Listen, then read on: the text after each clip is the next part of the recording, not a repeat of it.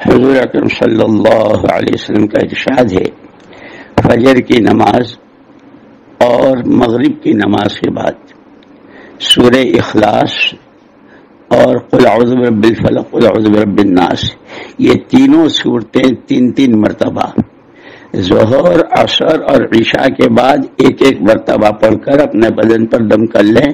حضور اکرم صلی اللہ علیہ وسلم فرمایا یکفی کا عن کل شعی تمام چیزوں سے تیل کافی ہو جائے گا۔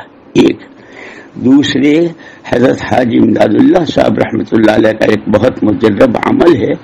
ہر طرح کی، ہر طرح کی سختیوں، پریشانیوں اور ظلم و جفا سے حفاظت کا عمل ہے۔ شروع میں تین مرتبہ درود ابراہیم، اس کے بعد تین مرتبہ الامان الامان الامان یا برہان۔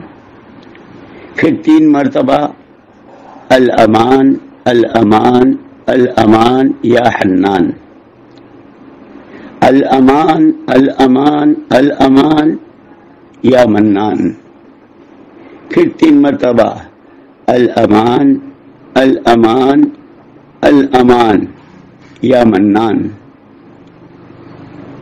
یا دیان۔ یا دیان یا دیان۔ پھر ایک مرتبہ الامان زمانے کے تمام فتنوں سے لوگوں کی ہر طرح کی سختی سے شیطانی شرارتوں سے اور حکومت کے تمام ظلم و جفا سے بے فضل کا یا رحمان پر رحمان، تیرے فضل سے ہمارے، ہمیں امان میں رحمت فرما۔ پھر تین مرتبہ درود ابراہیم پڑھ کر اپنے پر فجر کے بعد، مغرب کے بعد اس کا بہت اہتمام کیا جائے۔ یعنی کبھی پڑھ لیا، کبھی نہیں، لیکن اس کا اتنا زبردست تجربہ ہے کہ بڑے بڑے مسائل لوگوں کے لیے آئے۔ اور اللہ پاک نے مدد فرمائی۔